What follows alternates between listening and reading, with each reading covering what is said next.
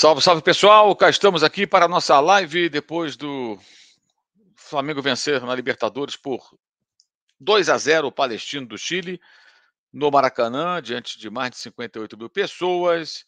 Vamos aqui conversar sobre esse jogo, falar bastante aqui sobre essa vitória por 2 a 0 a primeira do Flamengo nessa Copa Libertadores da América 2024, depois do empate na semana passada contra o time do Milionários lá em Bogotá. Essa live tem um apoio e patrocínio do SofaScore, aplicativo que você pode baixar acessando o link que está aqui embaixo na descrição do vídeo.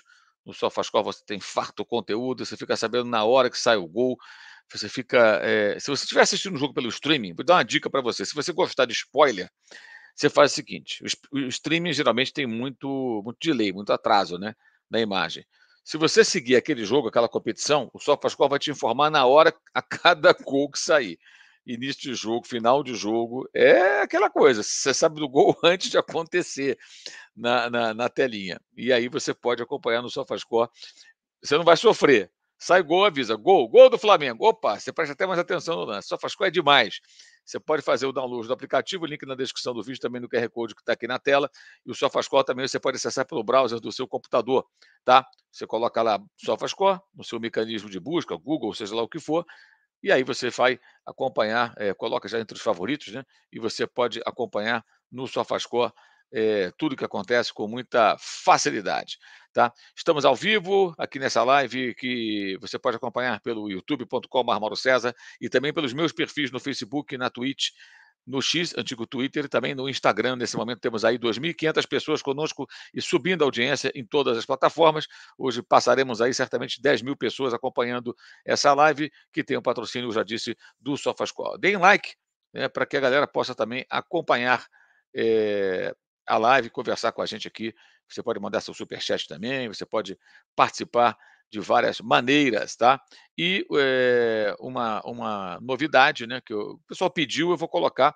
Tem muita gente que quer mandar superchat e aí não consegue mandar o superchat porque o cara não tem cartão de crédito, não quer usar, etc e tal. Então o pessoal faz o quê? O pessoal quer participar de outra maneira, então, e quer colaborar com o canal. Então, como outros canais têm feito, eu pensei bastante, acabei também aderindo. Então, você também pode participar pelo Pix. Você pode mandar um Pix aqui para o endereço é, do Pix do canal, né, que é esse que está vendo na, na, na, tela, que esse é o e-mail do canal, inclusive, para correspondências com o canal, que é o mauro.cesar.pereira.com.br.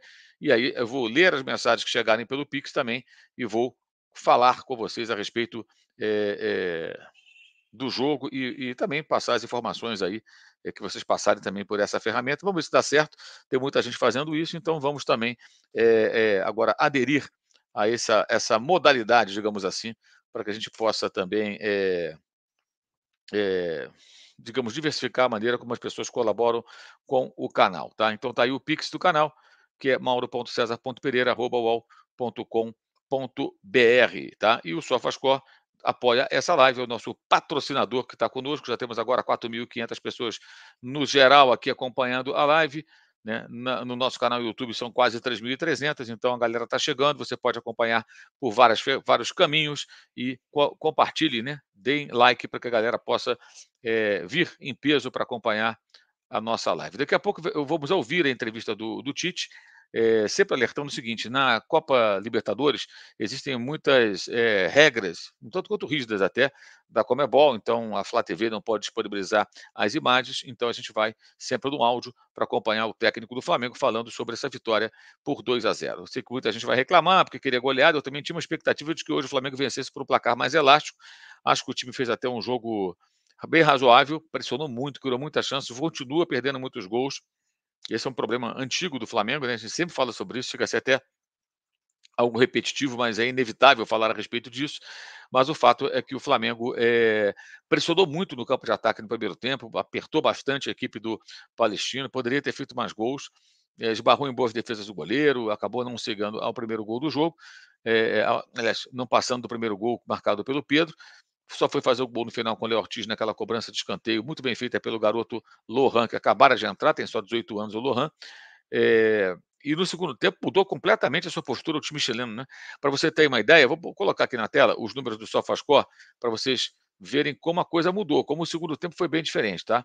Eu vou colocar aqui as estatísticas do jogo e a gente vai poder é, ilustrar melhor aqui o que de fato aconteceu nessa partida, tá? Então vamos lá, vamos compartilhar a tela com vocês para que a gente possa é, ilustrar melhor aqui. Vou até ampliar aqui a tela para que vocês possam visualizar melhor, tá? Então, tá aqui, ó, estatística do jogo, ó. Tá aqui, aqui à direita, vocês estão vendo bem aqui, então, então tá aqui à direita, ó. Vocês vão ver aqui, ó, posse de bola. 63% Flamengo, 70, 37 da equipe do Palestino. Mas no primeiro tempo, ó, 75 a 25. No segundo, 49 a 51. O Palestino teve mais a bola no segundo tempo do que o Flamengo. Finalizações: 21 do Flamengo, 10 do Palestino. No primeiro tempo, 12 do Flamengo, 1 do Palestino. No segundo tempo, 9 para cada lado. Então, 9 das 10 finalizações do time chileno foram no segundo tempo. Eles saíram mesmo para o jogo no segundo tempo e criaram algumas é, dificuldades. O Rossi trabalhou. Oito finalizações no gol do Flamengo, no geral, três do Palestino. Né? E aí você vai ver aqui, ó, no geral, três chances de gol, grande chance do Flamengo, uma do Palestino. Tá? 15 finalizações do Flamengo dentro da área, 7 do Palestino. Defesas do goleiro, três do Flamengo, do goleiro Rossi, cinco do goleiro do Palestino. E aí você vai ver aqui, ó, vou colocar só no segundo tempo.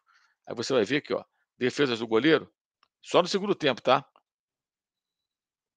Uma do goleiro do Palestino no segundo tempo das, das cinco e duas do Rossi das três foram no segundo tempo, quando o Palestino de fato saiu mais para o jogo, mudou bastante seu comportamento, né? Então a gente vê aqui, ó, a escalação do time, dos dois times, o Rossi, o Guilherme Varela, Léo Ortiz, Léo Pereira, Ayrton Lucas, por aí vai.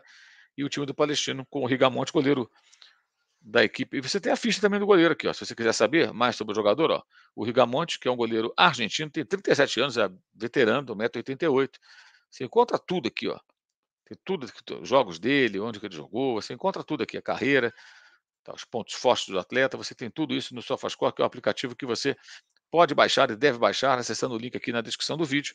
É o nosso patrocinador, apoia o nosso trabalho aqui no YouTube. São 7 mil pessoas conosco nesse momento, no youtube.com.br Mauro César, são cerca de 4.800, então a galera comparecendo em peso aqui para acompanhar a live. Vamos ler as mensagens da rapaziada já já. É, nesse momento, jogos em andamento ainda, tá? Pela Copa Libertadores da América. Vamos até verificar aqui o andamento das partidas. É, já terminado o Cerro Porteiro 1, Aliança Lima 0, São Paulo 2, 0 para o Cobressol. São Paulo custou a fazer o gol, cara. Foi difícil hoje. São Paulo só fez os gols no segundo tempo, com o Caleri definindo. O André Silva fez, fez o primeiro aos 82 minutos e a 2 do final, aos 88, o Caleri ampliou para o time é, tricolor. André Silva e Caleri marcaram é, 2 a 0 para o São Paulo Futebol Clube. Nesse momento estão empatando para o grupo de São Paulo em Guayaquil, Barcelona 1, Tadieres 1. O Independente Del Vale bateu o São Lourenço no grupo do Palmeiras pelo placar de 2 a 0 jogando no Equador. O Atlético sofreu bastante, mas derrotou o Rosário Central por 2 a 1 e nesse grupo também o Penharol atropelou o Caracas 5 a 0 para o time uruguaio. E na Copa Sul-Americana tivemos um resultado impressionante. O Internacional empatou sem gols com o Real Tomayapo, time boliviano. Fortaleza meteu 5 a 0 do Potosí e o Racing mandou 3 a 0 do Bragantino, atropelou o Bragantino. O Racing hoje mandou muito bem. Mas é incrível, cara, porque ontem o Grêmio empatou é, perdeu, melhor dizendo, por 3, 2 a 0 para o Rachipato do Chile, jogando em casa também. O Inter jogou nos seus domínios. E somando os dois, os dois eh, times, a dupla Grenal, foram 54 finalizações, 33 do Internacional, 21 do Grêmio e nenhum gol marcado. Impressionante o desempenho muito negativo né, dos dois times gaúchos eh, nos jogos da Comebol, nos jogos internacionais eh, nessa semana. Já já teremos a entrevista do técnico Tite, ainda não começou, estamos acompanhando aqui, tá? E vamos então às mensagens do pessoal que participa conosco, são quase 8 mil pessoas conosco nesse momento, tá? Eh, Damião Neves, Dino César, Alexandre Paiva, bom resultado, apesar do segundo tempo ruim. Ele critica aqui o desempenho do Arrascaeta, é, Felipe Alves, Ayrton muito bem no jogo. O que uma concorrência não faz? De fato, é bom ter mais de um jogador por cada posição. É revezar, todo mundo vai jogar. Felipe Alves, Léo, Ortiz e Léo Pereira são minha zaga titular. Saída de bola bem melhor do que com o Fabrício Bruno. Acho que naturalmente ganhará a vaga. Eu falo isso já há algum tempo, acho que é o que vai acontecer. O Fabrício tem o seu valor, mas acho que o Léo é um zagueiro mais qualificado. A tendência é que ele ganhe a posição, acredito eu. Mas todo mundo vai jogar. O Fabrício vai jogar, o David Luiz vai jogar. Oportunidades não faltarão, é jogo demais. É jogo demais. Thiago Andrade Reis, É, ele fala aqui que falta consciência de jogo. Não sei o que ele quer dizer com isso. Eu acho que o Flamengo não conseguiu hoje é, é, aproveitar de novo chances criadas. Foram várias defesas no primeiro tempo do goleiro argentino da equipe do Palestino, do Chile. o time criou, pressionou muito no campo de ataque no primeiro tempo. No segundo, o adversário muda de comportamento e o próprio Flamengo também arrefece um pouco. Não dá para marcar lá no alto o tempo todo, gente. Nenhum time aguenta.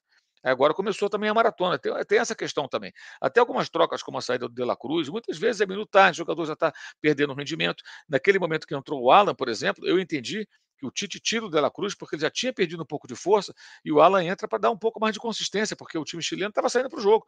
E o Flamengo tinha que tomar certos cuidados ali para não tomar um gol de empate. E o Flamengo conseguiu ali, é, apesar de umas duas, três defesas do Rossi, trabalhou dessa vez o goleiro argentino do Flamengo, os dois goleiros argentinos, por sinal, mas é, conduziu o jogo e conseguiu a vitória.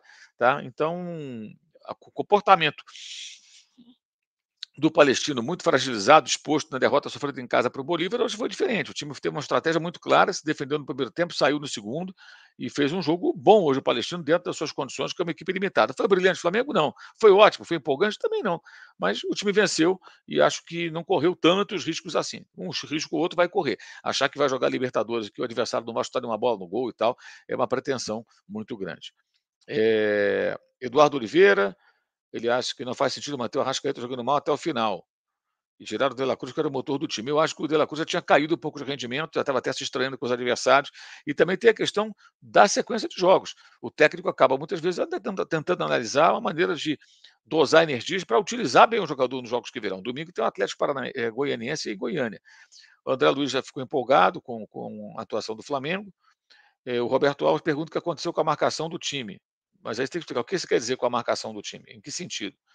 É, Rafael Amarante, esse jogo lembrou bastante contra o Olímpia do ano passado. Não, não achei não. Não achei não. O Flamengo não correu grandes riscos. Fernando Silvério, grande, grande, é, ele manda aqui, defesa coletivamente mal, os zagueiros foram bem, mas o sistema defensivo flertou muito com o gol de empate. Eu não acho que flertou muito com o gol de empate. Acho que o Palestino chegou ao ataque, soltou o time e criou algumas situações. Agora, quem joga com a linha alta no campo do adversário vai sofrer algumas situações assim. Eu acho que o que está acontecendo, gente, é que vocês estão na expectativa de que o Flamengo não corra nenhum perigo. Isso não existe. Isso não existe. Tá? O Manchester City tomou dois gols do Crystal Palace no final de semana. Tomou três ontem do Real Madrid. Crystal Palace e Real Madrid. São times bem diferentes. Os dois fizeram cinco gols no time do Guardiola. E o time do Guardiola tem muitos cuidados defensivos também, não se iludam. Então, assim, é, é, achar que o Flamengo não vai correr nenhum risco, é, eu acho que um pouco demais. Os adversários vão criar situações de perigo. Tá? Eu também esperava que o Flamengo vencesse hoje por um placar mais elástico. Não, não, não fiquei, é, assim, digamos, satisfeito com o que eu vi. Mas eu entendo também que existem dificuldades.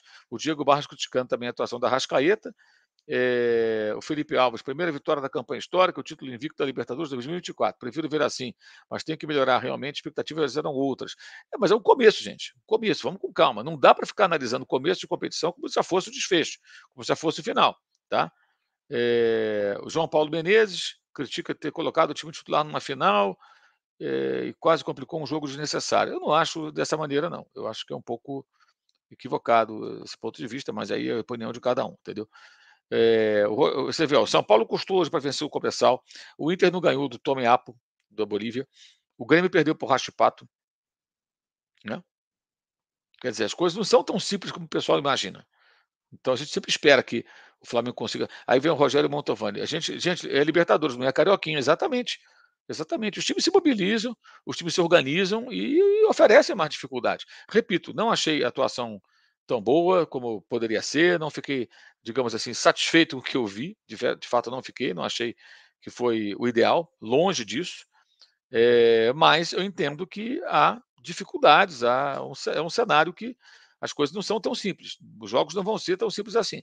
Então a gente tem que compreender que a coisa não é tão tranquila como as pessoas imaginam. E o Flamengo é um time, acho eu ainda, ainda em construção. É um time que ainda pode, deve crescer, deve se desenvolver, mas ainda está faltando é, atingir uma certa maturidade que ainda não tem, que ainda não tem.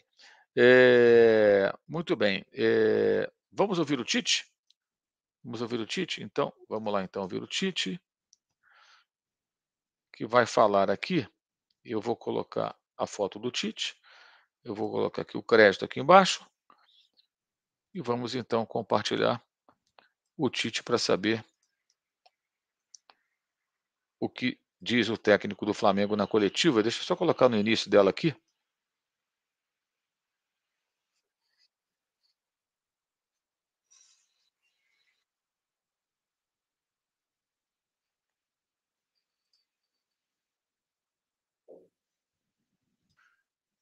Tu é bom sequência? Se pode tem que poder ser principalmente falando, me sinto só eles morada até Vai começar a entrevista coletiva do Tite. Meu amigo aqui da Globo, eu faço pro Ortiz, ele faz pro Tite.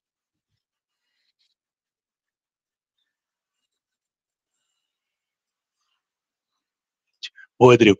Ortiz, é, parabéns pelo gol, pela tua estreia. É, a minha pauta hoje foi te acompanhar. Onde você estava, eu estava te filmando, e no final eu vi que você ergueu o punho assim, antes de você apertar a mão do Vinícius, você ergue o punho para a arquibancada.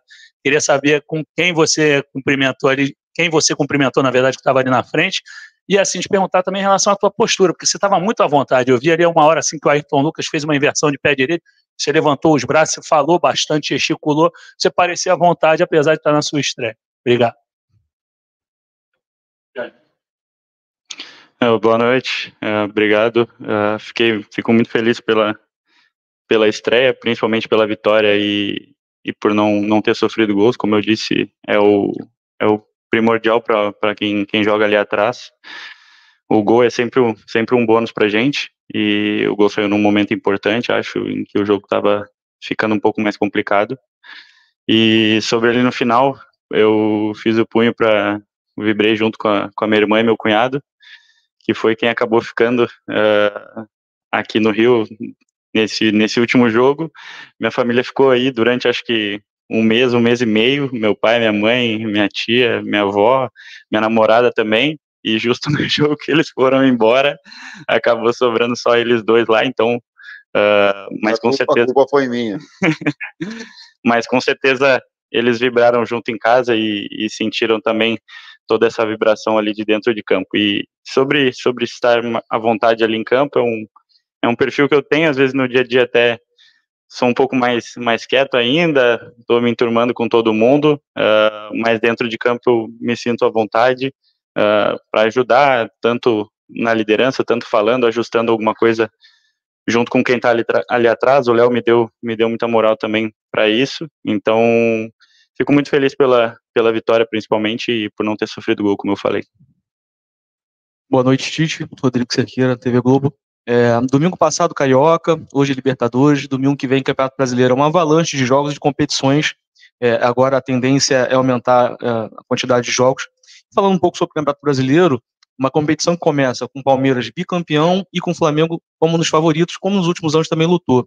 É, eu queria que você falasse um pouco sobre essa busca pelo título né, entre Flamengo, Palmeiras e os demais, e por que que você acha que o Campeonato Brasileiro é tão difícil a ponto de a gente quase não ter um tricampeão, que é o que o Palmeiras pode alcançar esse ano? Quem conseguiu foi o Murici, nessa era moderna, mas quase ninguém alcançou esse feito por ser uma competição tão difícil. Na sequência, né? O Murici fez três, fez três na sequência, fez três sequencial, Murici, tu é bom pra caramba. Murici, um abraço. Boa noite. É, eu não tenho, assim, essa, essa dimensão. Nós vamos sentar com a direção, tá, Luiz, tá, para estabelecer prioridades. Porque é humanamente impossível tu trabalhar com, com, com competições com agora com tamanha, com tamanha grandeza e, e tu ter toda a equipe se repetindo quarta, domingo, quarta, domingo. Por exemplo, hoje entrou o Léo Ortiz, o Fabrício estava com seis jogos seguidos, o que mais estava, com duas viagens, extremamente importante. Então, nós vamos ter que, nessa valorização do grupo todo, a utilização da, da equipe, né? Então, todos estarem preparados, eu externo isso publicamente, eu externo, porque, porque esse é o discurso que a gente faz. Porque vai precisar de todos fresh. Num jogo onde ele foi de responsabilidade, nós sabemos que tínhamos que vencer, de um grande primeiro tempo, de um volume muito grande, um número de oportunidades muito grande. E na medida que tu não faz o segundo gol, começa a ficar tenso, começa a ficar nervoso, começa uma bola parada, começa a se, ó, vai ficar. E aí a equipe também tem que ter essa maturidade para jogar com essa pressão, com essa expectativa, como fez e fazer o segundo gol. Porque isso, isso vai gerando essa, essa, essa, esse encorpar da equipe de passar por esse momento. Não queria, queria já fechar um primeiro tempo, porque merecia já 2, 3 a 0 no primeiro tempo. Não o fez e ficou pressionando. Ficou pressionado, desculpa, o segundo tempo.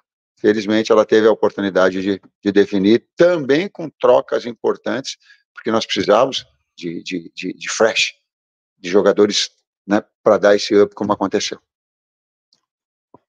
É, Tite, Léo, é, boa noite, Raíza Simplício da Gol. Eu queria que você, Tite, falasse justamente sobre isso, né? Sobre as suas mudanças. Você tirou o De La Cruz, você tirou também o Varela, acabou trazendo o Ayrton Lucas para a direita. Foi é, questão de desgaste, ou foi. Você falou dessa do Fresh. E na semana passada, você, você, depois do jogo da Libertadores, falou que cerca de nove jogadores tinham acusado desgaste. Você fala agora sobre essa questão dessa conversa com a diretoria. Como é que está esse planejamento para a estreia do campeonato, campeonato brasileiro? Uh, em cima das, dos, dos, relatos, pegando essa segunda parte que tu colocaste, em cima dos relatos da fisiologia, eu tenho a condição de, de direcionar. Deixo bem claro que quem retira atleta é a parte clínica, é médica, essa tira. A outra, ela é de forma conjunta a parte técnica e a parte fisiológica. Então aí daqui a pouco tem atleta, como aconteceu com o próprio Fabrício, que estava com um volume de jogos muito grande, a gente precisou, botou ele para jogar. Então, mas de valorização dessa equipe toda, desse grupo todo, e de estar preparado. Uh, o Léo Ortiz demorou quanto tempo para estrear? Um mês, acho. Mais, Mais um mês. mês né? Sabe por quê também? Porque ele também tem que se ambientar. Por mais maturidade que ele tenha, Tu tem que trabalhar com as diferentes duplas de zaga, tu tem que trabalhar com a metodologia, para que ele tenha uma naturalidade para jogar. Por quê? Porque um manto sagrado é muito pesado. É grande. É, não pensa que é fácil, não.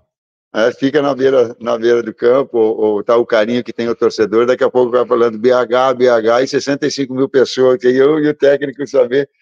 É, nós temos que ter essa maturidade, nós temos que saber trabalhar com esse, com esse aspecto. E essas substituições é justamente para ter o Lohan para jogar, para jogar garoto. E a gente está preparando. Na meia, por quê? Porque dá um decréscimo físico, tu precisa ter. Aí, uh, uh, o Everton no, no jogo vai jogar. A gente procura preparar todos esses jogadores para esses momentos importantes. Em relação a, a, a, essa sequência, volto a dizer, ela é prioridade, a gente vai sentar junto com a direção porque eu gostaria de, de dizer para o torcedor, assim, que ele, e ele diz assim, a gente quer ganhar tudo, eu também quero, mas é humanamente impossível. Isso é um canto, isso é um, um a gente tem que compreender. Mas se a gente não der prioridade na vida a algo que seja mais importante, a gente perde planejamento.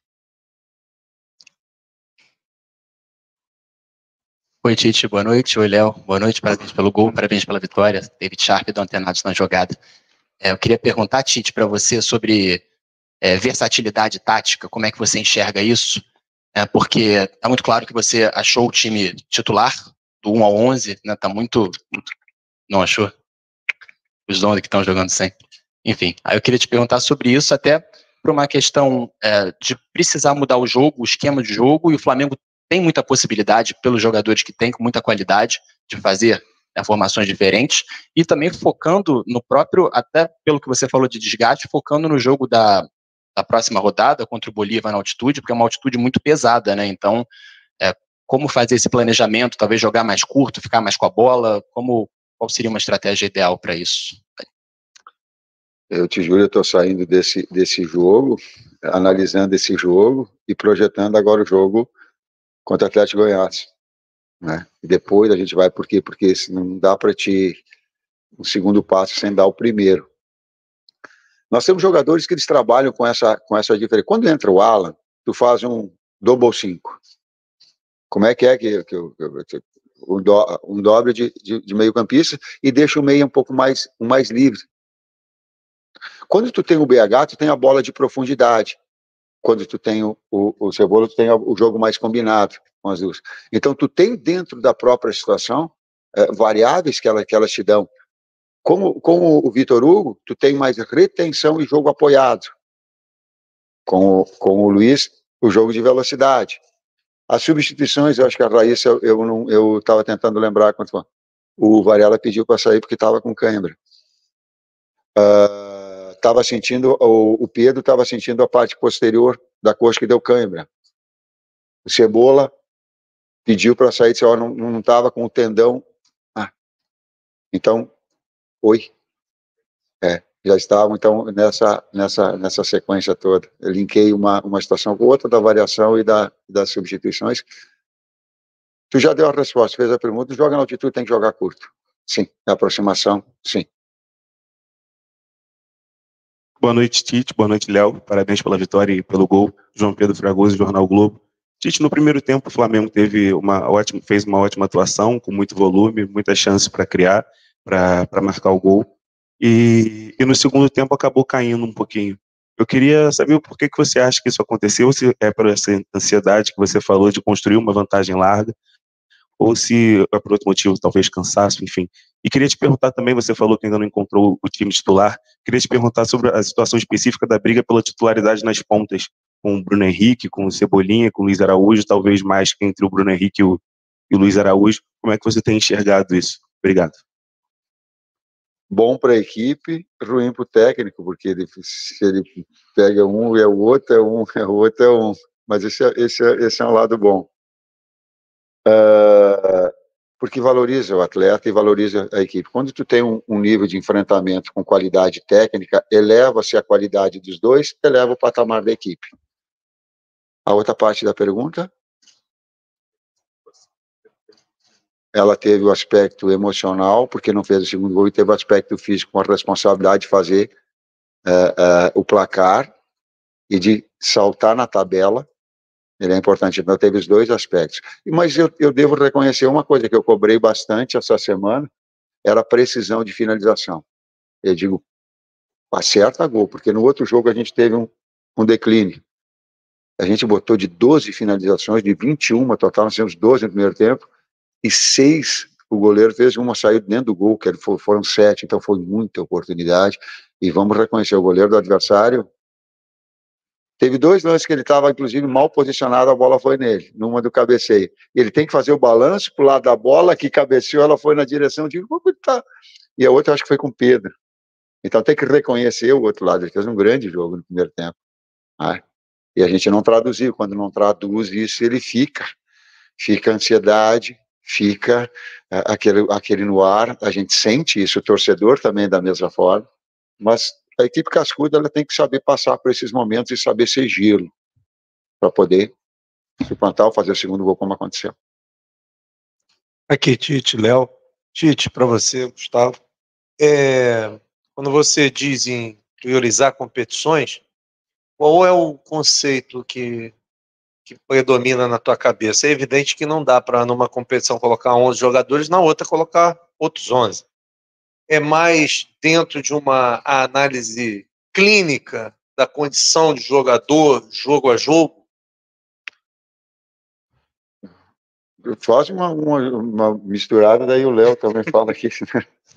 Tem mais uma ali, não? Embala duas aqui para o Léo não mandar. Fisio, uh, o aspecto fisiológico não, uh, desculpa, o aspecto clínico tira atleta. Fisiologia não tira atleta. Fisiologista, desculpa, não tira atleta da minha, da, da comissão técnica. Por quê? Porque ele engloba a parte tática e daqui a pouco tu vai ter um jogador que ele é necessário para a engrenagem da equipe, ele vai jogar. Clínica, sim. O Flamengo não paga o preço de saúde de atleta para vencer jogo. Não vai. Isso, isso ele, ele, ele tem. É sentar para ver o que a direção também, juntamente com ela, tem que estar em sintonia. Nós estabelecemos, quando, quando, quando a direção colocou, a nossa prioridade é vencer o campeonato carioca. Bruno Spindel, Marcos colocaram, o presidente colocou, Luiz colocou, ah, não, nós, é para cá. E falamos dentro do vestiário isso. Daqui. Ele é também, claro, que paralelamente tu quer ter, ter bons resultados. Agora a gente sentar também e elencar essa direção, esse norte, porém, uma utilização do grupo todo, e ele tem que estar tá preparado. Volto a dizer, não tinha entrado o Lohan, não tinha entrado, né? Vocês ficam dando pio para mim colocar um menino para jogar? Só que ele tem treinado muito bem, e aí faz, ele vai, vai gerando essa oportunidade para ele. Boa noite, Tite, boa noite, Léo. Estrear com gol é sempre muito importante, né? Bruno Castanha. É, queria que você falasse primeiro agora jogar a favor da torcida né, do Flamengo, jogou muito contra. Estrear com gol é importante também, até no final ali deu uma. Né, sentiu um pouquinho a questão do ritmo do jogo, queria que você falasse um pouquinho sobre isso. Sobre, né, para o Tite, você falou né, da, do goleiro adversário hoje, que foi muito bem. Mas o Flamengo vem criando várias situações de gols a todos os jogos e acaba de, faz gol todo jogo, é verdade, mas às vezes pode fazer um placar mais elástico sofrer menos e não vem conseguindo né, saber como né, fazer para fazer mais gol no próximo jogo. E só eu sei que o, Luiz vai ficar chateado, mas eu queria que você fizesse um breve comentário sobre o Alan, que o Alan demorou né, a conseguir engrenar e agora vem entrando sempre muito bem em todos os jogos. Obrigado lá para você descansar um pouco. Uh, feliz pela estreia, como, como disse. Estava uh, ansioso já para jogar uh, a favor dessa, dessa torcida, que eu falei diversas vezes que jogar contra o Flamengo aqui era sempre especial, era sempre uma atmosfera incrível e ter eles a meu favor agora, a nosso favor, né? É, é uma realmente um sentimento diferente e uma motivação a mais ali dentro de campo. Uh, acho que o primeiro tempo a gente dominou, o segundo tempo acabou ficando um jogo um pouquinho mais, mais complicado, em que a gente talvez perdeu aquele, aquele domínio, até por, por no primeiro tempo a gente ter colocado uma intensidade, um volume muito grande. Então é difícil manter aquilo ali, talvez quase impossível manter aquele volume, aquela intensidade durante os 90 minutos mas mais feliz, senti um pouco o ritmo sim, uh, toda a adaptação, esse tempo que eu que eu acabei ficando sem estrear, uh, deixou um pouco em alguns momentos, alguns alguns errinhos, algumas algumas falhas, alguns detalhes que que ainda tenho para acertar, mas mas como eu disse, feliz pela estreia, feliz por por não ter sofrido gols, uh, mantendo o que meus companheiros vinham fazendo nos, nos últimos jogos, com uma, uma solidez defensiva que é, que é muito importante. E fechando com chave de ouro, que foi o gol ali que, que deu um alívio para todo mundo nesse final de jogo. Deixa eu fazer uma observação importante. É... Davi Luiz jogou muito no jogo contra o Milionários. Talvez tenha sido, se pegar um top 3 daquele jogo, o César está tá sorrindo, jogou muito. Léo Ortiz entrando, jogando muito. Fabrício e, e, e, e Léo Pereira, dois jogadores selecionáveis no momento grande. Então nós temos, e ainda o Bahia, um garoto que vai, naturalmente vocês vão ouvir falar muito. Então esse planejamento uh, uh, do, do, Flamengo, independentemente do técnico, o técnico não tem que ser dono de, de, de plantel, mas ele vai construindo essa, essa, essa condição toda. A outra parte da pergunta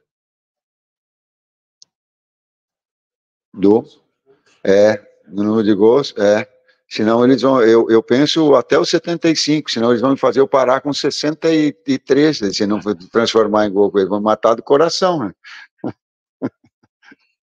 Quando bate um volume, bota o volume, ela dá no pau, ela, dá no, ela vem de novo, ela vai dar de ai, ai, ai. Ele não dá para deixar com que o futebol, porque o futebol, às vezes, ele te uma bola parada, ele, quantas vezes a gente viu, né, que tu bota volume, bota volume, aí o cara vai lá, passou. Então, nós transformarmos isso, sim, ele é treinamento. Ele é treinamento, ele é precisão. Já melhorou em relação ao último jogo, mas precisa transformar, sim. Precisa traduzir isso.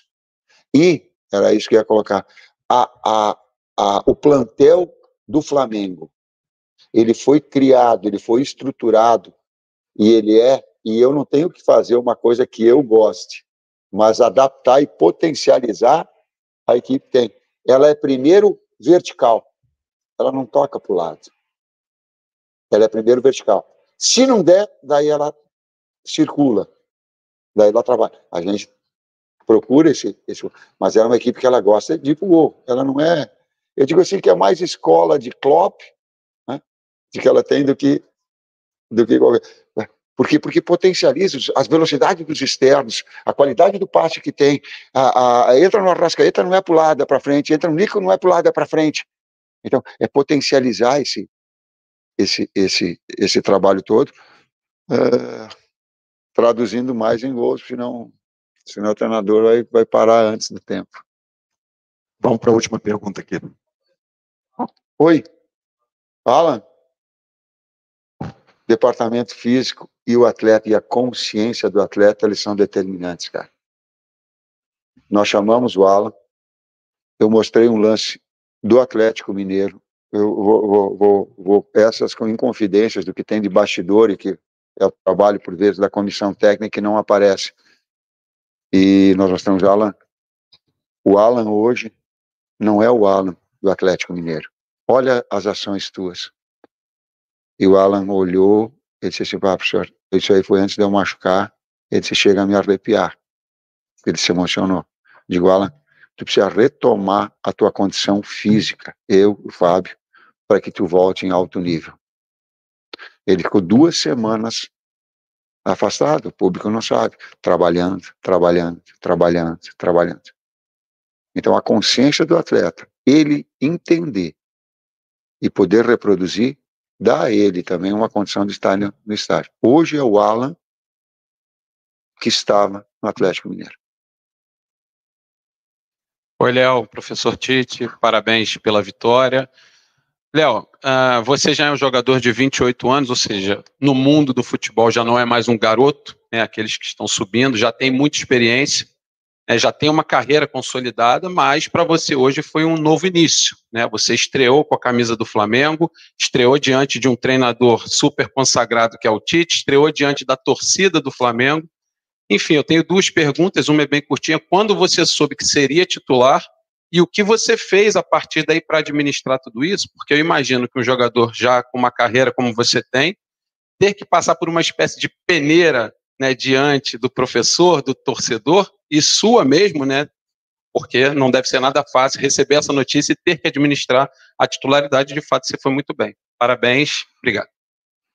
Obrigado. Uh, fiquei sabendo no treino de ontem, uh, na preparação, mas o professor sempre, sempre fala para todos no dia a dia se manterem preparados, porque tem muitas competições, muitos jogos, então todos vão ser importantes e até por isso às vezes não tem treinamentos com, com time titular, time reserva, é sempre tudo misturado, assim, para que todo mundo esteja pronto para jogar.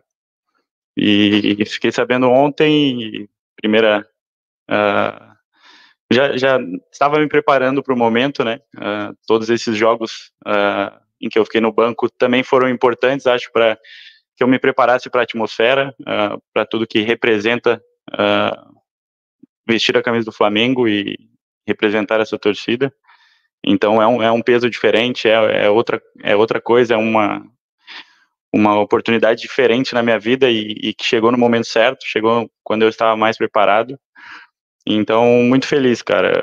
Como eu disse, eu até não sei se eu posso confidenciar. Coisa boa a gente fala uh, das outras. Numa conversa que eu tive com ele uh, sobre quando a oportunidade chegaria, e eu falei que eu sabia que eu que eu viria para cá para competir por, por, por, um, por um lugar. Se eu não não tivesse disposto a isso, eu não, não viria, porque teoricamente estava numa situação mais confortável, onde eu jogaria talvez 80, 70 jogos, 60 jogos no ano, e eu sabia que aqui eu vinha para elevar meu nível, e acho que isso vai fazer com que eleve o nível de todos, né? Não só o meu, mas do Fabrício, do Davi, do Léo, do Cleiton. Uh, e essa disputa é, é sadia, fico muito feliz que, que todos companheiros, não só os companheiros de posição, mas todos vibraram muito com o meu gol e com esse, esse momento que é muito importante, e agora é dar sequência no trabalho, todo mundo está sempre preparado para receber essa oportunidade e dar conta do recado no mais alto nível. Ele veio aqui com o Bragantino e me fez eu dar um pique ali com o meu joelhão bloqueado. é, a outra parte da pergunta. Não outra parte. Será?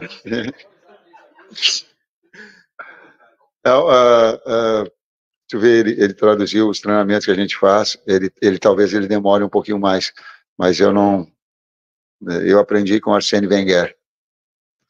Eu, eu faço trabalhos táticos de enfrentamento, modificando a, a dupla de zagueiros, mudando os laterais, mudando o setor direito, mudando o setor esquerdo, mudando a fase defensiva, mudando a fase ofensiva, para que tu possa gerar conexão dentro da equipe. Estou falando da parte tática que ele, que ele colocou, que tu começa a gerar. Talvez ele demore um pouquinho mais, mas ele te dá uma condição boa de um Alain entrar e entrar com fluidez.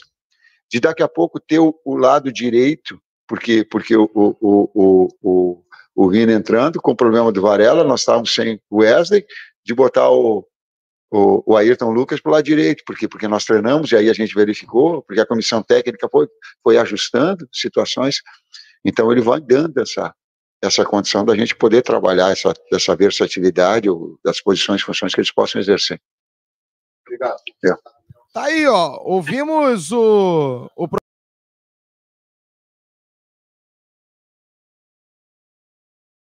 Muito bem, é, essa foi a entrevista do Tite, né? E a gente vai continuar aqui com a nossa live. Importante o que ele falou, né?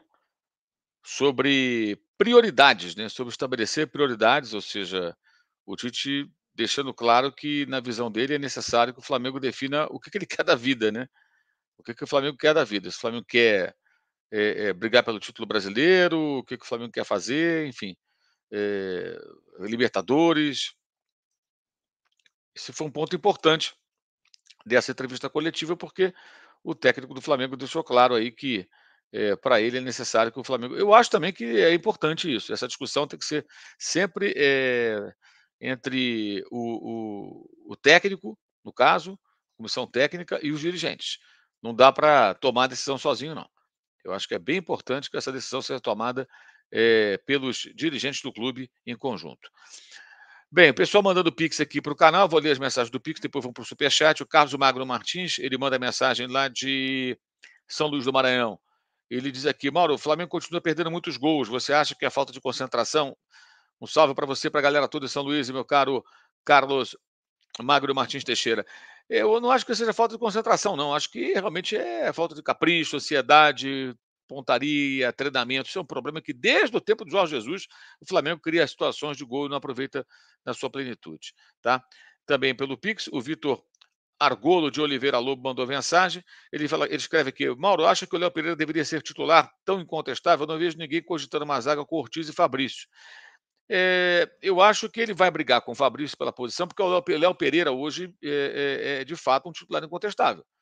Ele é um ótimo zagueiro, eh, teve fases muito ruins, e inclusive ano passado mesmo, até outro dia alguém mandou uma mensagem: ah, você mesmo falou que tinha que vender. Claro, estava muito mal, jogando mal. Lembra do erro que ele cometeu, por exemplo, no ano retrasado, naquela final do Carioca, contra o Fluminense, no 2 a 0 do primeiro jogo, o Flamengo amassando o Fluminense, tomou dois gols, uma falha grotesca dele e a outra do Arão, dois gols do Germancano. Ele vinha mal. Agora, se, se, se, se digamos assim, colocou as coisas em ordem, está jogando bem, então ele tecnicamente é bom zagueiro, parece que está amadurecendo. Eu, eu acho que é ele mais um. Hoje é ele mais um, quando todos estiverem à disposição.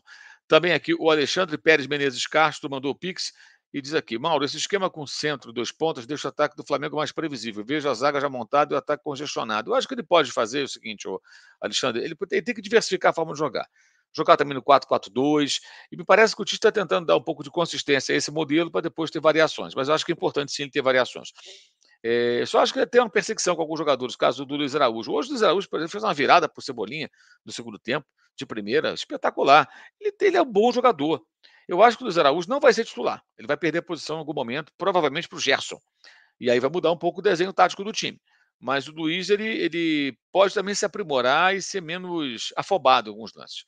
O Max Reis dos Santos também mandou aqui um, um pix. Boa noite, Mauro. O que achou dos comentários da Globo enfatizando o poderoso palestino e quase dizendo que a vitória 2 a 0 é vexame? Eu não vi o jogo na Globo, eu vi o jogo na Paramount. Aqui em São Paulo, a Globo mostrou o jogo do São Paulo, então eu não vi. Também não vou comentar aqui os comentários dos colegas lá. E aquela coisa, cada um fala o que quer. Eu não concordo, se falar nisso aí, não concordo muito com essa linha de pensamento, mas enfim, todos têm liberdade de se manifestar, né?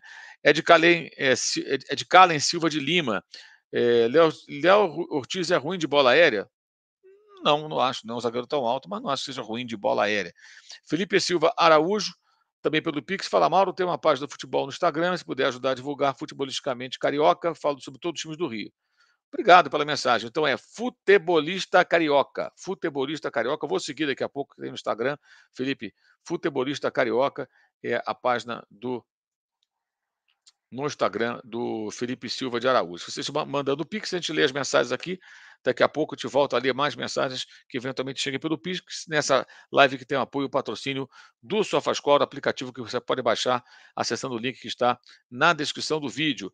Aqui no Superchat, o José Francisco Leite Neto, diretamente de de Aracaju, do Sergipe. Valeu. O Ryan Belisário. Até quando irão defender e praticar lavagem cerebral para justificar o trabalho do Tite? Que time constrangedor sofreu para vencer o Palestino? É o pensamento do Ryan. O Ryan, se você acha que qualquer pessoa que pensa diferente de você faz lavagem cerebral, digamos que você deve se considerar um ser muito superior, né? Parabéns, boa sorte para você, meu caro. Brioche, é, tirar de la Cruz e colocar lá não foi demais. Eu não acho que foi demais. É, é uma questão também, ele falou sobre isso, de desgaste dos jogadores. Os jogadores às vezes sentem, você percebe uma queda de rendimento. Precisava de um pouco mais de força no meio campo, o jogador descansado. Era o momento que o Palestino estava se lançando um ataque, estava se, se expondo, se arriscando. E, enfim, o jogador de futebol, ele, ele, ele se desgasta. E a sequência de jogos é pesada. Eu concordo com o que ele falou. Acho que se for para estabelecer uma prioridade, que seja pelo clube, não é pelo técnico só. Essa decisão não cabe ao técnico. Cabe ao clube. Então, como falaram para ele, ele disse aqui: queremos ganhar um campeonato carioca, prioriza. Ele foi lá e ganhou. Então, digamos que eles falem: olha, o importante para a gente é brasileiro e Libertadores. Copa do Brasil é secundária, vai jogar com um time misto na Copa do Brasil. Ah, se for eliminado, foi. Se ele ganhar as outras duas, ou uma das duas, está ótimo. E assim funciona. é como eu penso, né? Porque o Tite demora muito a substituir o segundo tempo. Igor Ramalho, eu acho que é o jeito dele de trabalhar. É, Marcão Dantas. É, você acha que o Tite demorou a mexer no time? Acho, acho, acho sim. Poderia ter mexido antes. É, Fábio André, é preciso torcer a faca. Flamengo flertou com a massa do futebol, de que não faz leva. Aconteceu com o Atlético de Madrid. É, quase tomou um empate hoje, vencer por 2 a 0 e no último lance o Borussia Dortmund com o Brandt mandou uma bola na junção da travessão com a trave esquerda. Eu acho que é o seguinte, o Flamengo não fez o gol, não é porque não quis não, né, Fábio? O Flamengo buscou o gol e perdeu muitas chances. Esse é o problema que a gente fala aqui toda semana, toda live. Cria, cria, cria e não faz. Então, para enfiar a faca e rodar, aí não é o técnico. Os jogadores têm que acertar o gol. O time criou. Esse problema é com diferentes treinadores. Fabinho sei. Boa noite, Fabinho. Tite demorou muito a mexer. Segundo tempo horrível. Cuidado com o Atlético Goianiense. É muito melhor que o Palestino. É, é outro jogo também, né? É Carlos Magaldi. É, Flamengo parece que jogou com o freio de mão puxado. Tem Maués, lá no Amazonas, terra do Guaraná. O segundo tempo foi devagar, de fato. O Diego Barros, inadmissível tomar um sufoco. Sufoco também não tomou, né, Diego? Sufoco é um pouco demais. De um time que tomou de quatro em casa. A gastou o futebol todo no Carioca. Gente, é um jogo.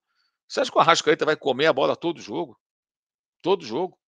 Vai jogar, jogar pra cacete? Não é assim. Pelo amor de Deus. Não é um Superman, não é um robô. Né? E outra coisa, cada jogo é um jogo. Né? O Palestino tomou de quatro em casa, o que evidencia de fato que é um time frágil mas um jogo de outra maneira. Eles tomaram dois gols no primeiro tempo, tiveram jogador expulso logo depois e jogaram com menos um, acabaram tomando de quatro. Cada jogo é um jogo. Eu acho também que o Flamengo deveria ter feito o placar mais elástico. Trabalhou para isso e não aproveitou. Tá? É, o Smiley Peppers Films. É, meu amigo é fã do seu trabalho. Se puder, mande um abraço para o meu amigo Tiago. Ele é Gabizete, segundo ele, Tiago Martins. Eu acho que ele está te sacaneando aí, Tiago. Falou, Smiley, um abraço. O Werner Santos Filho, Gerson traz espaço no meio lugar do Luiz Araújo. Eu acho o seguinte, o Werner, o, o Gerson vai jogar todo mundo disponível. O Gerson vai brigar pela posição com o Luiz Araújo. Não vai barrar o Arrasca, não vai barrar o De La Cruz. É o que eu penso. Nem deve jogar de ponta esquerda. É mais fácil jogar na direita, trazendo a bola para dentro, meio como fazia é, o Everton Ribeiro, como sempre fez o Everton Ribeiro. E já jogou assim, inclusive, desde os tempos do, do, do Jorge Jesus, ele, ele, ele já fez esse papel. É, aí eu acho o seguinte: o, o Flamengo vai fazer muitos jogos. O Tite já falou sobre isso agora na coletiva. Ele vai revezar. Vai jogar Gerson, Arrascaeta e Puga. Vai jogar Alan, De La Cruz e Gerson, por exemplo. Diferentes formações. Tá? Então, com todo mundo disponível, eu acho que ele vai acabar brigando com o De La, com o Cruz, com o Luiz Araújo. Mas dependendo do adversário, do cenário do jogo, ele pode querer uma formação ou outra. Vamos ver. Jonathan Kalisman, Pulgar errou três bolas que tiraram perigo. Está jogando abaixo do que pode ou ainda tomou cartão bobo. Cartão ele toma todo jogo. Aliás, o Pulga, alguém tem que conversar com ele. Como toma cartão essa criança, né? O doutor Glaudemir Rezende, que é membro do canal há 31 meses, está sempre com a gente. Três partidos jogando mal, seis meses de trabalho para isso, time mais caro do Brasil, perdi a confiança. Doutor, calma, doutor, está muito ansioso. Wanda Cristina, boa noite. Achei um jogo fraco do Flamengo, mas achei que faltou jogo por dentro. Essas chances desperdiçadas contra um time melhor vai dar ruim. Exatamente, esse problema a gente sempre fala aqui. Tem volume, cria, não aproveita, acaba flertando com o perigo. Acho que o De La Cruz foi substituído para não ser expulso. Tem isso também, o lance do amarelo deu um murro no peito do adversário. Percebi sim, ele se estranhou, aí o cara foi, bateu com mais força nele e tomou um amarelo. Bem observado pelo Juvan. Na hora também eu saquei que ele estava se estranhando com o cara, te tirou rapidamente antes que tomasse o cartão vermelho, se continuasse no arranca-rabo com o adversário. É, Emerson Grande, a imagem congelada é porque ali é uma foto, Emerson. Na coletiva a gente não pode mostrar a imagem, é só o áudio e uma foto ali, um frame para ilustrar. Marcelo Júnior, veja alguns momentos do jogo, jogadores do meio para frente bem distantes, ficando só Rascaeta no meio sozinho, Armando e Pedro meio isolado. É, eu não acho que o Rascaeta fique sozinho, não. Ele, na verdade, ele muitas vezes ele se junta ao Pedro, os dois pontas voltam com os outros dois meio-campistas para fechar. É, o Samir, Samir quebra. Eu queria 2019 de novo, assim como a campanha da Libertadores 2022. Não é fácil, vamos valorizar a vitória. Parabéns pelo trabalho. Muito obrigado, Samir. E outra coisa, né? Como é que era a Libertadores 2022 na, nas primeiras partidas? Vocês se lembram? Era o Paulo Souza. E todo mundo reclamava. E o Paulo Souza ganhou todos os jogos, exceto o jogo contra o Talheres na Argentina, quando o Flamengo empata em 2 a 2 e um dos gols do Talheres foi em impedimento. E não tinha VAR naquela fase de grupos da Libertadores do ano retrasado tivesse VAR, provavelmente o gol seria alunado, o Flamengo poderia vencer aquele jogo também. Então, o criticado Paulo Souza venceu todos os jogos e reclamava. Reclamavam. Depois o Dorival continuou ganhando. Já na campanha de 2019, que você quer de novo, Samir, o Flamengo, na, na fase de grupos, o Flamengo perdeu para o Penharol do Maracanã. Na última, era o Abel Braga o técnico. E aí chegou na última rodada, precisando do empate, empatou 0 a 0 com o Penharol. O Gabigol perdeu gols incríveis no começo do jogo. O Flamengo não matou o jogo e correu riscos acabou se classificando, depois veio o Jorge Jesus e o resto da história a gente conhece.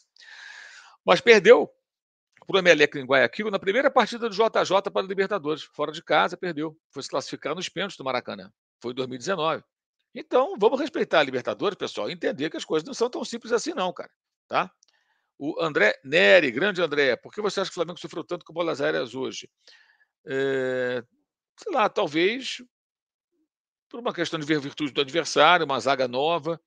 É, mas, assim, não foram tantas situações de perigo que o adversário criou. O adversário é fraco, né? Igor Fernandes, a má vontade da torcida Flá 19 com o Tite é absurda. O time caiu de rendimento no segundo tempo, mas acontece, acontece em todos os jogos, vão dominar o tempo inteiro. Concordo. Aliás, eu gostei muito, Igor, da pressão no campo do adversário no primeiro tempo. O Flamengo pressionou, roubou muitas bolas e criando novos ataques e tal, mas não aproveita os gols, perde os gols. Aí fica realmente difícil. É, não tem técnico que resolva isso. Daniel Pereira. Seus últimos comentários na SOM me trouxeram de volta à realidade, voltar a curtir as vitórias não ver problema em tudo. É bom voltar a trocar sem, é, a trocar sem ser um mala. Valeu, Daniel. Acho que é isso, a gente tem que ter paciência, gente. Que a montagem de um time é um processo lento, e cada técnico tem uma característica. O Tite é bom treinador, monta times competitivos, é, são times seguros. São times seguros. O Tite não é o Jorge Jesus. E o Jorge Jesus também correu riscos. O Flamengo poderia ter sido eliminado. O Flamengo foi eliminado da Copa do Brasil assim que chegou o Jorge Jesus, pelo Atlético Paranaense. Quase caiu para o Emelec. Ganhou do River Plate com dois gols no final. Amassou o adversário, amassou. Amassou no Brasileirão, então, nossa, teve muita gente sofrendo. E o Grêmio na Libertadores também foi amassado. E o Inter foi eliminado. Mas Teve dificuldade. Lembra como é que foi Inter e Flamengo? Flamengo e Inter do Maracanã, dois gols do Bruno Henrique. O Inter do Odair Helma retrancadaço. O Flamengo com dois gols do Bruno no final do jogo. Só no final. E o Inter quase marcou um gol logo depois que tomou 1 a 0 Quando finalmente saiu para o ataque. Então, cara, é assim que funciona. Sabe? As pessoas ficam no imaginário como se em 2022, 2019, o Flamengo só tivesse vencido, massacrado todo mundo. Isso nunca aconteceu, gente. O Leonardo Trindade, mesmo tomando pressão no segundo tempo, foi bom manter o Ortiz para lhe dar confiança. Afinal, vamos precisar dele no Brasileirão. Vejo o gol com um pouco mais de confiança. Eu não acho que tomou pressão, acho que foi atacado. Pressão, para mim, é uma coisa muito maior. O palestino ele não atacou no primeiro tempo, praticamente. No segundo, ele atacou. Ele muda a Eu mostrei os números aqui do SofaScore no começo da live. Atacou e muito, né? porque buscou um resultado. Vinícius Pedrosa, manda um abraço para meu amigo Marcesico. Você acha que agora, com a estreia do Ortiz, Davi Luiz vai ser o quarto zagueiro? Eu acho que ele já é o quarto da lista. Eu acho que ele já é. Fernando Pereira, é, para você, quais podem ser as causas para o problema crônico dos gols perdidos? Algum fator psicológico? Cara, eu não posso afirmar que é ou não é uma questão psicológica, porque o Flamengo já mudou de jogadores e continua perdendo gols. Eu acho que é muito preciosismo. Acho que o Flamengo arrisca pouco chute de média distância e, em geral, os jogadores do Flamengo eles só finalizam quando as condições são absolutamente adequadas. Às vezes você tem que chutar meio desequilibrado, do jeito que dá, entendeu? Mas não, tem que estar com a bola no jeito, na posição certa, tocar para o lado, procurar o colega para passar, e aí acabam errando. E às vezes um outro que é fominha. Hoje o Pedro, que está fazendo ótimos jogos, todo jogo faz gol, média por jogo quase, ele poderia ter passado aquela bola no segundo tempo para o Bruno Henrique, fez uma grande jogada, ele mesmo tentou finalizar, até se desculpou com o Bruno, que entrava livre do lado. Mas, enfim, eu acho que é muito mais preciosismo do que outra coisa. Se tem um aspecto psicológico, aí eu não, eu não, não me sinto seguro para falar, Fernando, sobre isso, porque seria pretensão da minha parte falar de aspectos psicológicos quando eu não sou psicólogo e eu, eu não, não, não, lido com os atletas. Né? Aí teria que ter uma informação de alguém que pudesse fazer essa avaliação. Agora, avaliando tecnicamente, eu vejo preciosismo. Eu vejo exagero, sabe? Tem a chance de finalizar, mas sempre tem um toque rebuscado a mais, ou quase sempre. Marcos Daniel, Hetzel D. Macedo, a torcida anda meio histérica, achando que vamos golear todo o jogo. Nenhum brasileiro está sobrando na Libertadores desse ano. Pedir saída do Tite é insano. Eu também acho isso aí uma coisa de gente maluca. Não dá nem para levar a sério, meu caro Marcos. Também com a gente o Renato Ferreira. Preocupante a quantidade de bola aérea na área do Flamengo que o Palestino finalizou. Problema de adaptação do Pereira de Ortiz e demais defensores? Pode ser, foi a primeira partida dos dois zagueiros, né? É, Wagner Ferreira, primeiro tempo era para matar o jogo. O time de ferro está com perigo. Também acho, era para matar o jogo, mas não mata. É, Pedro Rogério com a gente, mandou a mensagem. E o Diego Rodrigues. É, você acha que a primeira fase da Sul-Americana é o nível abaixo? Lembro que o Ceará em 2022 fez 18 pontos possíveis com Dourival. Dourival. Melhor campanha da história. Fortaleza está com dois jogos e duas vitórias. É, tem times fracos. Alguns confrontos não são fracos. Por exemplo, hoje o Racing ganhou de 3 a 0 do, do Red Bull Bragantino. E o Bragantino é um time de primeira divisão aqui no Brasil, o Racing é um time de primeira divisão na Argentina. É, times que jogaram Libertadores é, em tempos recentes. O Racing no ano passado, o Bragantino também, né? No ano passado jogou. Foi eliminado na primeira fase, mas jogou. E o Racing caiu para o Boca já na, na, nas quartas de final. Eliminou, é, se classificou na chave do Flamengo, inclusive. Então, é, é, alguns confrontos têm uma certa qualidade, outros são contra times realmente fracos. Isso aí é verdade. É, muito bem. Deixa eu ver aqui. É, é isso. É, vamos voltar aqui a ver as mensagens da galera do Pix aqui rapidamente, voltando. Vou ler as mensagens também gerais, tá? É, o Aldo de Oliveira Lima, ele mandou aqui o Pix e ele pergunta. Ele, não, ele observa. Lembrei do modo banana no segundo tempo. Manda um abraço para Boa Vista e Roraima. Um abraço para a galera em Roraima, meu caro, meu caro Aldo. O Tiago de Souza Fonseca. ele diz aqui: Prefiro 4-4-2 com dois atacantes. Eu também acho que essa formação é, é, é interessante e deve ser tentada também, com diferentes duplas. Cebolinha e Pedro, Bruno Henrique e Pedro, Pedro Luiz Araújo, Bruno Henrique e Cebolinha, enfim. Luiz, Luiz, Henrique, é, Luiz Araújo e Bruno Henrique, o que for. Carlinhos, agora tem Carlinhos também. É, também Edivaldo Rocha também com a gente aqui. É, boa noite, sou seu fã, parabéns pelo trabalho. Você acha que às vezes falta capricho ao Flamengo para matar o jogo mais cedo? Foi o que eu acabei de falar, meu caro Edivaldo é um excesso de preciosismo, de fato, falta esse capricho. Vamos para cima, define, demoram. Vitor Rebelo Wertzmann, é, entrevista broxante do Tite Flamengo, não tem elenco para tentar disputar tudo, tudo, brasileiro Libertadores, não dá para ganhar os dois. Mas o que ele falou que eu entendi é que ele quer estabelecer prioridade, Vitor. Ou seja, qual é a nossa meta prioritária? Que numa hora de fazer escolhas, uma semana de jogos dessa competição e da outra, tipo Copa do Brasil e Brasileiro, tem que fazer algumas escolhas, priorize os jogadores mais importantes que eu vejo para qual jogo. Acho que é por aí que ele quer dizer. Entendi dessa forma, pelo menos. Vinícius Pedrosa de Oliveira, manda um abraço para o meu amigo Marcezico. Ah, ele já mandou essa mensagem no Superchat também. Costello Ortiz, Davi Luiz passa a ser quarta opção. Acho que já é o quarto dessa fila. E também aqui o Felipe Silva de Araújo. Já divulguei aqui o futebolista, futebolista carioca, que é a página dele no Instagram. Também essa mensagem que está voltando aqui para a gente, a galera que está mandando aqui o Pix você manda o Pix também, eu li a mensagem, tá? É, deixa eu ver se chegou mais alguma mensagem aqui. É isso aí. Galera que está participando também pelo Pix, que é uma novidade aqui no canal, o pessoal estava pedindo, sugerindo. Ah, eu não tenho cartão de crédito, quero mandar mensagem, quero colaborar com o canal, então tem um Pix também aqui para a galera poder participar dessa maneira. É, também com a gente aqui o Silas. Gonzaga, o problema dos gols perdidos é que se os jogadores do Flamengo fizessem todos os, gols que deveriam, estariam no City, não no Flamengo. É, mas não, precisa fazer todos, Silas. Mas poderia fazer mais gols do que, do que fazem, porque as chances aparecem. Teve 10 chances, faz um gol. Teve 10 chances, faz 3, faz 2, faz 4, entendeu? dependendo do adversário. Carlos Adelson, incrível que tem gente que esquece que em 2019 o time do JJ penou para ganhar do Botafogo do CSA. É verdade. 1x0 sofrido gol do Lincoln lá no estádio Newton Santos, no Engenhão, e 1x0 contra o CSA no Maracanã. Luiz Estevão, voltando ao Maracanã, parei aqui na Vida Brasil para mandar mensagem. Malvadão vai voltar? Eu acho que o Malvadão está voltando, Luiz Estevão, pouco a pouco. Valeu, ele é membro do canal e participa com a gente também, o grande Luiz. Gente, estamos a uma hora de live, mais de 13 mil pessoas conosco nesse momento. Muito obrigado. Em todas as plataformas, 7 mil aproximadamente estão é, participando pelo youtube.com.br Mauro César e temos ainda mais, mais de 6 mil pessoas distribuídas entre o Facebook, a Twitch, o X, antigo Twitter e o Instagram. Muito obrigado a todos que participam em diferentes plataformas e mandam mensagens aqui para o canal é, nessa live que tem o apoio e o patrocínio do SofaScore. Faça o download do aplicativo, link na descrição do vídeo. Olha o QR Code na tela, só apontar o seu celular, já faz o download, se garante e vai ter muito conteúdo com o SofaScore. Também do Superchat do Laurindo. Esses torcedores da Flamengo só reclamam. O Flamengo jogou bem, só precisa chutar mais de fora da área. Eu também acho. Veja o Manchester City, né? Dois tirambaços de fora da área para furar o bloqueio defensivo do, Barcelona, do Real Madrid no, no, no 3 a 3 da terça-feira. O Ian Daniel, obrigado. Domingos Pires, lá na Chapada dos Guimarães, também conosco. Valeu. Igor Lavagnoli. É, acho que não se trata mais de modo banana, sim de uma leve soberba. Eu não achei soberba, não, sabe? Eu achei que realmente que faltou um pouco mais de poder de fogo, definição, sabe? É, Igor Melo, ele acha o Léo Ortiz um ótimo zagueiro, mas acha o Fabrício Bruno melhor.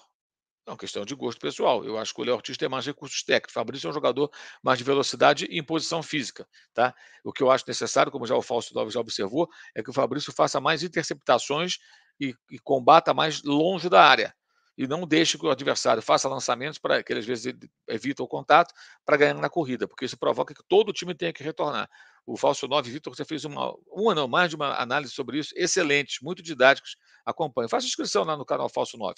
Eu também quero mandar um abraço aqui para o Bruno Castanha, com quem conversei hoje à noite.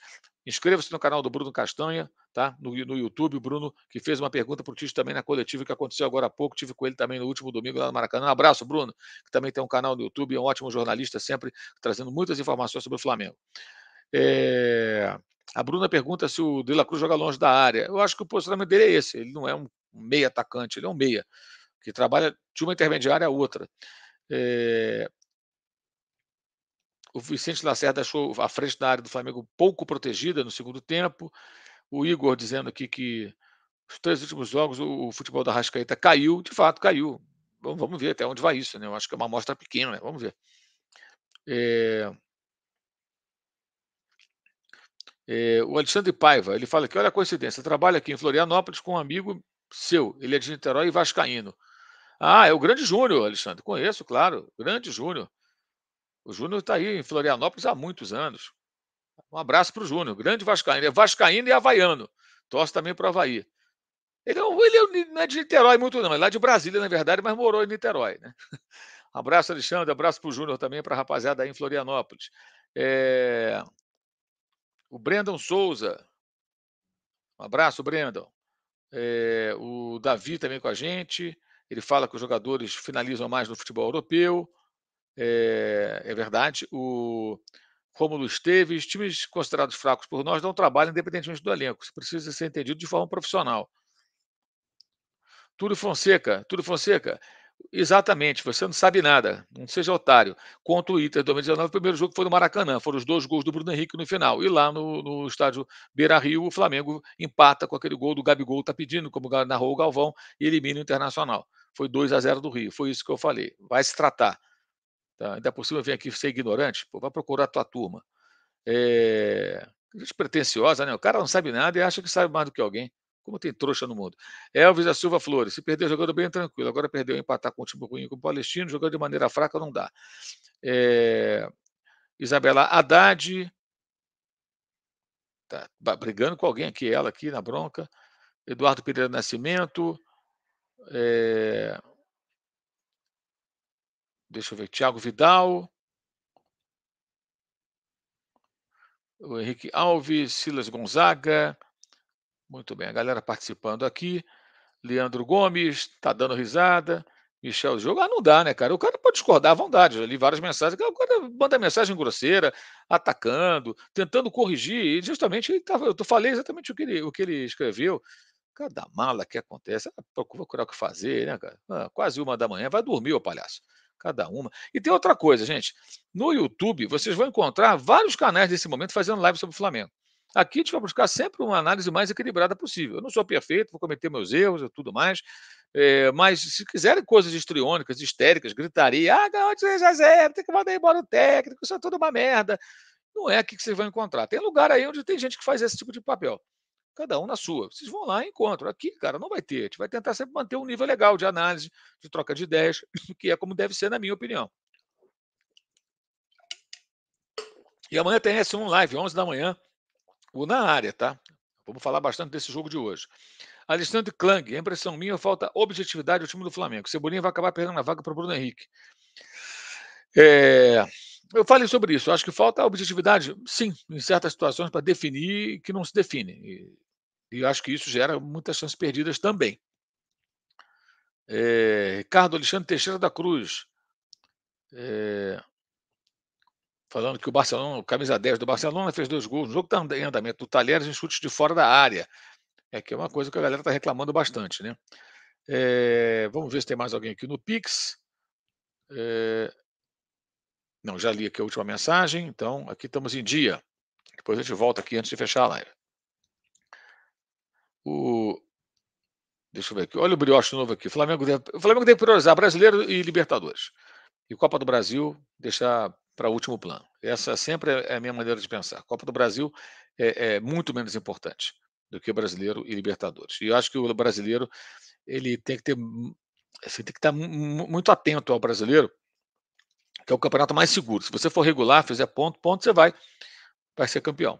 E a Libertadores tem mata-mata, uma jornada infeliz, tudo pode ir para o espaço. É... Muito bem, deixa eu ver se tem mais alguém aqui no Superchat. O United Kingdom, divulgação. Qual o time não brasileiro mais forte para brigar para a Libertadores em 2024?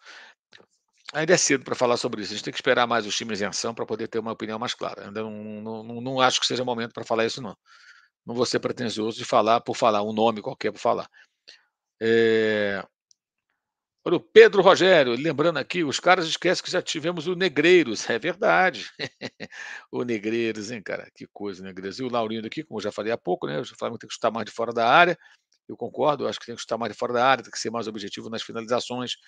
Às vezes demora muito a finalizar, espera o posicionamento mais adequado, e aí demora e demora, e acabam é, é, finalizando mal, perdendo os gols, e isso precisa mudar. De fato, isso tem que mudar. É, o Flamengo sofre desse mal, não é de hoje. também aqui pelo Pix, vamos ver quem mais aqui mandou mensagem.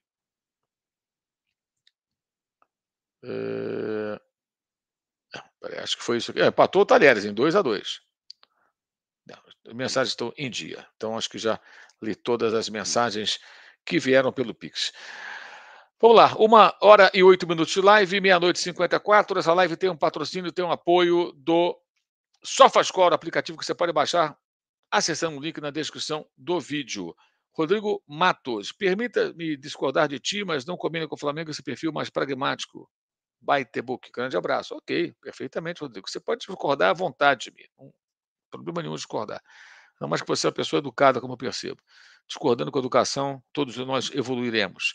DJ Fábio Gomes é o novo membro do canal. Valeu, DJ. Um abraço, obrigado por participar do Clube de Membros. Vai rolar semana que vem, provavelmente, a live dos membros. Eu vou marcar a data direitinho. E a gente vai conversar aqui com os membros do canal. É, tudo indica que na próxima semana, na live Mesa Redonda, que é a live dos membros do canal que acontece todos os meses. 2 é, a 2 Barcelona e Talheres nesse momento. No último lance, o Talheres empatou. Esse jogo é do grupo do São Paulo. Então, vamos ver aqui como é que fica esse grupo nesse momento. É, nesse momento, esse grupo tem o Talheres em primeiro, ele vai a quatro pontos, São Paulo com três pontos, o Barcelona fica com dois e o Cobressal com um ponto ganho. Certo? Talheres vai então para quatro pontos, que ele venceu o São Paulo na estreia, está empatando com o Barcelona fora de casa. Né? O Barcelona empatou com o Cobressal, vai para dois pontos ganhos, é, porque estreou fora de casa e empatou um a um com o time chileno.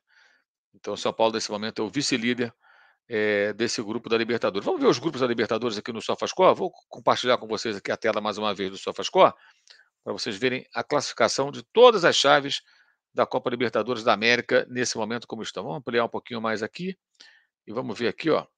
Opa, olha só que beleza. Você pode acessar no computador também, tá? Não é só pelo baixando o aplicativo, não. É bom você fazer as duas coisas. O Fluminense lidera o seu grupo, que é o grupo A do, do atual campeão, quatro pontos. O Colo-Colo tem três, o Cerro tem três, o Aliança tem apenas um ponto. O grupo B tem o Talheres em primeiro, com quatro, São Paulo três pontos em segundo, o Barcelona de, de Guayaquil em terceiro, nesse momento, que o jogo não acabou, está lá no finalzinho, 90 minutos mais acréscimos, está rolando. Está aqui acompanhando ao vivo o Sofascor, aqui o vermelhinho. Dois pontos e um ponto para o Cobressal. Você vê que os dois times estão grifados em vermelho porque o jogo está em andamento. O Rochipato lidera a chave, cara, impressionante, onde está o Grêmio. O Estudiantes é o segundo, o Strongest é o terceiro e o Grêmio é o último colocado. E, olha, é muito importante, hein? O Grêmio com zero ponto, ele nesse momento, ele tem 12 pontos a disputar, tá? Quatro partidas. Ele tem que vencer todos os jogos para se classificar sem depender de nada. Se vencer três, empatar um, vencer três e perder o outro, ele vai depender de uma combinação de resultados, tá? É uma situação bem delicada do Grêmio, que perdeu na estreia para o Strongest na Bolívia, jogando com o time reserva, porque priorizou a final do Campeonato Gaúcho, e ontem foi derrotado pelo Rachipato, tá? Vou até ó, resultado da primeira rodada, o Strongest fez 2 no Grêmio, o Rachupato em casa empatou com o Estudiantes. Ontem o Estudiantes venceu os bolivianos, e a próxima rodada, lá no dia 23, o Estudiantes recebe o Grêmio e o Rachupato recebe o Strongest. Se o Grêmio perder esse jogo, lá na Argentina, gente, o Estudiantes vai para 7 pontos, o Grêmio com zero. E o Rachupato, se vencer o Strongest, ele vai para 7 pontos e o Grêmio com zero. Então, é uma rodada decisiva. Se o Grêmio perde e o time chileno vence, mesmo que ganhe o Strongest fora de casa, ele vai a seis.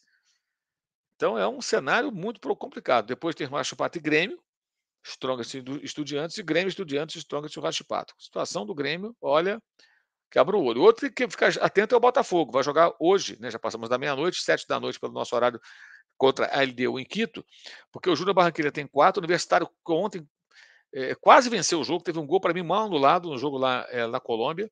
O Universitário que venceu a LDU, quatro pontos. Se amanhã o Botafogo perder, a LDU vai para três pontos. Aí fica o Botafogo com zero. 4, 4, 3, 0. Aí na outra rodada, o Botafogo pega o Universitário e tem que vencer de qualquer jeito. Se empata, por exemplo, depois vai ser já o segundo jogo em casa.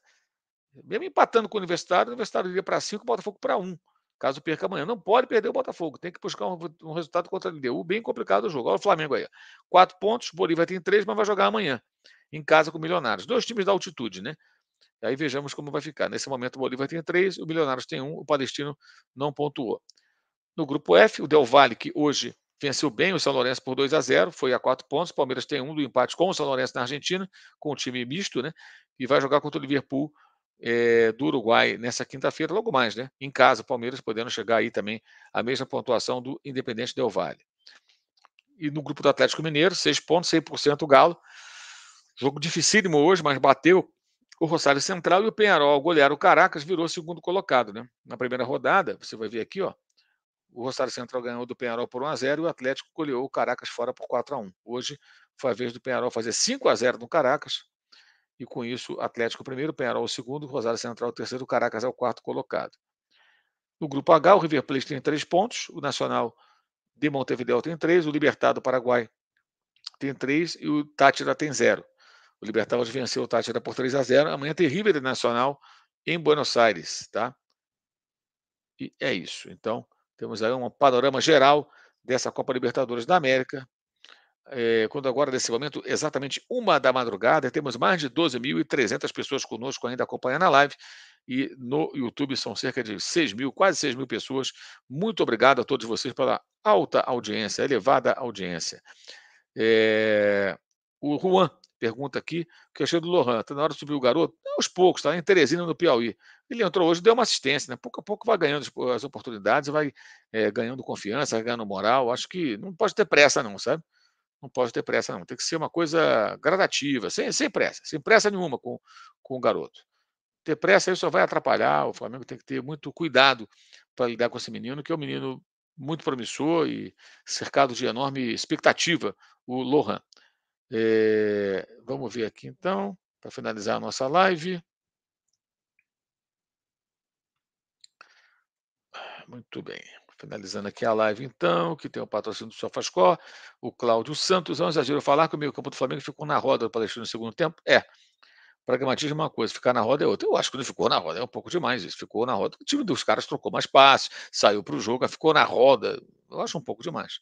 X tem que povoar o meio campo nessas situações. O meio campo ele tem que ser povoado com a recomposição dos jogadores que atuam dos lados do campo que tem que voltar. E o próprio Arrascaeta e tal, para recompor e tudo mais. É uma questão de ajuste. Muito bem, gente. Estamos chegando então ao final dessa live. Uma hora e 15 minutos aqui de live. Temos ainda mais de 12 mil pessoas conosco. Muito obrigado a todos que estão participando.